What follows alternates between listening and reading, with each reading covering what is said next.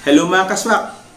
So for this past few weeks, I've been trying to look for a vacuum cleaner na pwede ko magamit sa daily household chores and even sa sasakyan na panglinis. But I have a certain budget. Ang budget ko is around 1.5 or below 2,000. Pero gusto ko yung malakas. Nakakita ako ng mga ibang 1,000 pesos, 2,000 pero nasa around 500 watts lang sila eh. So I'm looking for at least 1,000 watts pataas. Then I found one. And then ngayon, dumating siya, kaya i-unbox natin siya. Then later on, I will do a full review din sa kung paano gamitin and then kung gaano siya kaganda. Okay? Let's go!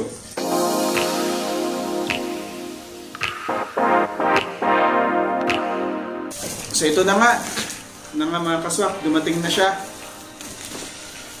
Um, I bought it from Shopee. Nabili namin sa Shopee. So, samahan niyo ako. Unbox natin to. So, shoutout sa seller nito. Ilalagay ko na lang din siguro yung link kung saan ko nabili to. Pero ang binili namin is itong Koyoma. Koyoma 3-in-1. Tanggalin natin ang buo itong ano, bubble wrap.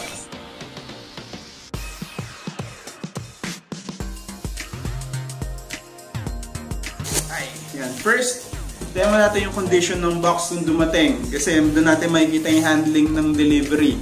So, so far, okay naman. May mga konting yupe, but it's understandable. It's okay. Pero merong medyo may, para siguro nabasa to somewhere. Parang may malambot na part eh. Basa nga siguro to, siguro nung bagyo. But ito, ito yung binili namin, Toyoma. Japan 3-in-1 1,200 watts so sa mga reviews doon sa Shopee nung makita namin to um, malakas naman yung higop niya nung nakita namin sa review but iba pa rin yung actual pag tinest na natin. So ito, ito makikita mo sa box. Then Japanese characters then 1,000 ito, ito yung mga uh, included sa loob. Floor brush hose plastic tube. Then, ano to? Crevice nozzle. Yan. Alam ko, hindi lang to vacuum cleaner. Yan, 3-in-1 siya. Ito yon. Ito sabi, easy to pressing with blowing function. function. Pwede siya pang blower. And then, yun nga, multi, ano, multi-functional base. So, ibig sabihin may gulong lang siya. Capacity niya, 12 liters. So, wet and dry vacuum po ito. So, pwede natin itong gawin pag naglilinis tayo ng mga carpet So, pwede natin ito pang panghigop, panglinis. Then, up to 1,200 watts, 220, 60 Hz yung kanyang voltage. Vacuum pressure niya, 100 or 14 kPa. Noise, 76 dB. I think that's decibel.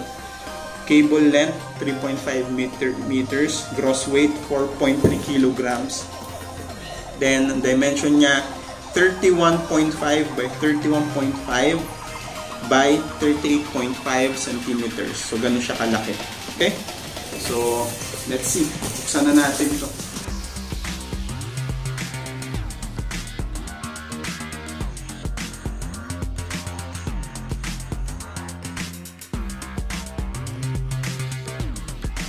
So, pagbukas mo, ito makikita mo,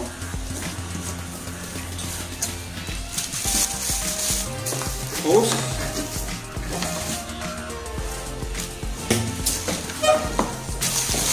Mga laman niya, hose. Ito yung, I think ito yung tube. Ko lang para sa pa yung tube na yan, but may dalawang tube. Tapos, tatlo. Tatlong tube. Ah, basahin natin sa manual kung may manual dito. So, naka-plastic siya. Tapos, ito yung mga included. Tanggalyan natin. Yun. Medyo mabigat. Tama, mga around 4, 4 kilograms nga to. So to kung makikita ninyo, ito yung pinaka-itsura niya.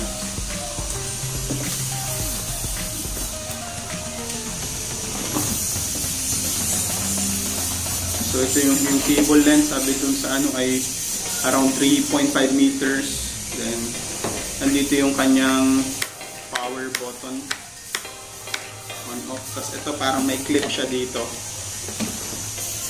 Itong clip na to, ito yung um, nagla ito, dito ilalaman yung mga mahihigo. Then when you open it, yan, yung filter, then mayroong uh, clip dito, tagahudong filter. Tapos, meron din ganito, na para siyang malambot na parang net na texture. I'm not, still not sure kung para saan to. Then ito yung mga nozzle niya, yung different nozzle niya. Yun yung gulong, tayo magkakabit. Then may screws din. Sa ilalim, wala. Ayan na yun. Kakabit lang natin yung gulong later. Tapos ito, ito yung brush nozzle. Kapag ka mag-ano, naglilinis ka ng bahay. Tapos, dito, ito na yung filter. So, ito na yung pinaka-machine, yung filter. Tapos, ayan. Ito ay yung, I think this is the handle. Dito. Dito. Ayan. Mukha naman, mukha naman yan. Ito nga yung i-screw natin siya mamaya. Tapos, the manual, then yung warranty card. So, ito yung laman. Wala na. That's it. So, just to sum up, ito yung laman. Yung mismong unit.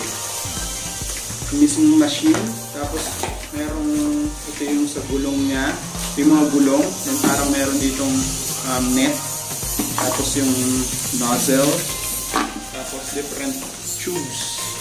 I think parang extender ata to. We will see. We will check mamaya sa manual comparison. And then yung mismong hose. Vacuum hose.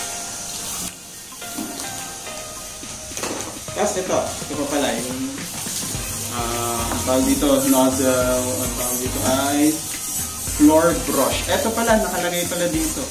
Floor brush nozzle. Tapos may three plastic tubes. Which is ito.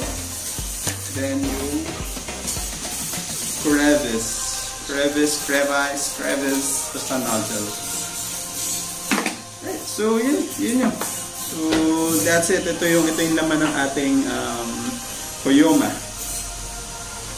vacuum cleaner. We will do uh, another separate video para kung paano ito buuin then kung paano rin ito gamitin. Alright? See you next time mga kaswak.